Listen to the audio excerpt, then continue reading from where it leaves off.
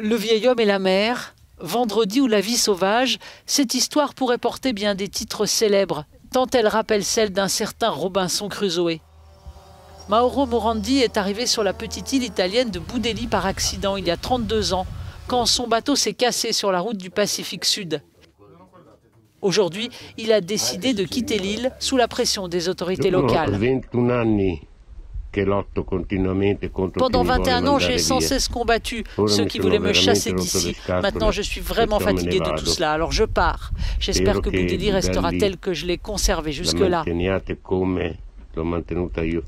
Cet ancien professeur d'éducation physique de 82 ans avait choisi une vie d'ermite dans l'un des plus beaux coins de la Sardaigne, dont il a été le gardien pendant trois décennies. Il a été expulsé de sa maison, un ancien abri de la Seconde Guerre mondiale, que les autorités ont l'intention de récupérer pour enlever l'amiante. Mais le vieux loup de mer espère qu'une fois la rénovation terminée, il sera autorisé à revenir vivre sous le soleil de Boudelli.